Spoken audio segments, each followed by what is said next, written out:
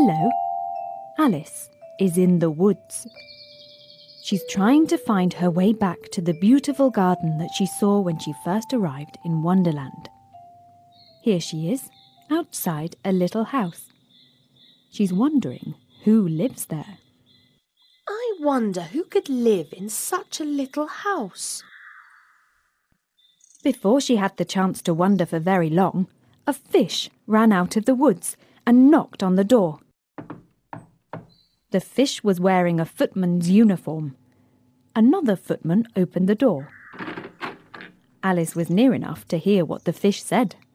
From the Queen, an invitation for the Duchess to play croquet. The Duchess! Alice was so curious she went to knock on the door. But there was no use knocking because it was so noisy inside the house that no one could possibly hear her little knock. Alice was even more curious now, so she opened the door.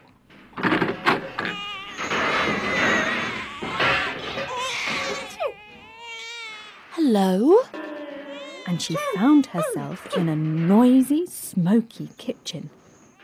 A cook was cooking a pan of soup over the fire, and the Duchess was holding a crying baby.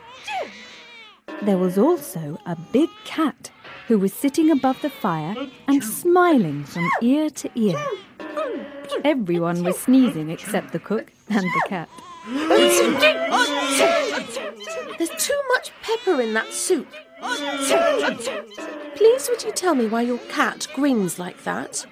It's a Cheshire cat, and that's why. I didn't know Cheshire cats grinned. In fact, I didn't know cats could grin. You don't know much, and that's a fact. Just then, the cook took the pan of soup off the mm. fire and started throwing pots and pans and plates and dishes all around the kitchen. Some of them hit the Duchess, but she didn't seem to notice. Some of them hit the baby, who was crying anyway.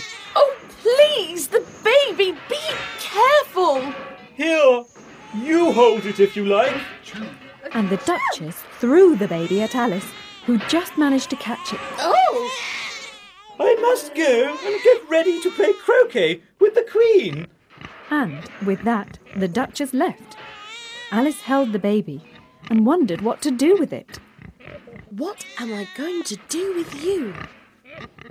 You're a strange shape. Oh! You're not a baby. You're a. Pig. It was easy to decide what to do with a pig. Alice took it outside and let it go into the woods. The Cheshire Cat sat in a tree and watched her. Cheshire Cat, could you tell me which way I should go? Hmm.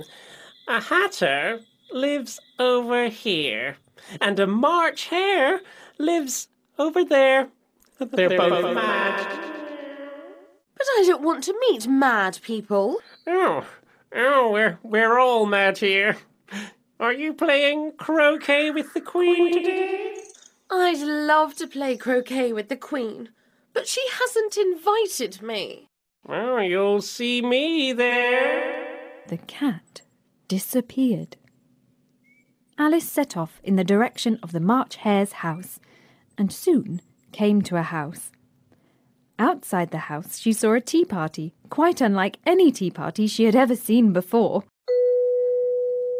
Next time, I'll tell you about the tea party and what happened when Alice met the March Hare and the Hatter.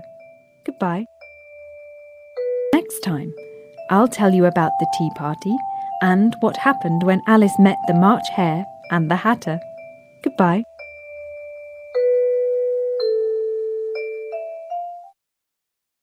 إن أعجبك الفيديو لا تنسى الإعجاب والاشتراك في القناة.